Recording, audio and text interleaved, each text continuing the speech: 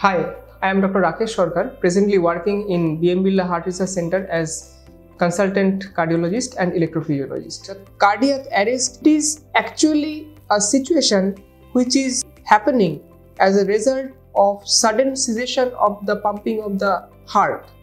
That means your heart may be apparently well or healthy prior to the event, but suddenly because of cardiac or some non-cardiac causes, the heart loses its ability to pump sufficiently and basically it stops pumping. Now this is a situation which is a nightmare or a disaster and a person cannot probably recover from this particular situation unless and until he or she is getting intervened or treated urgently by the medical expert or the available uh, medical facility. Thank you.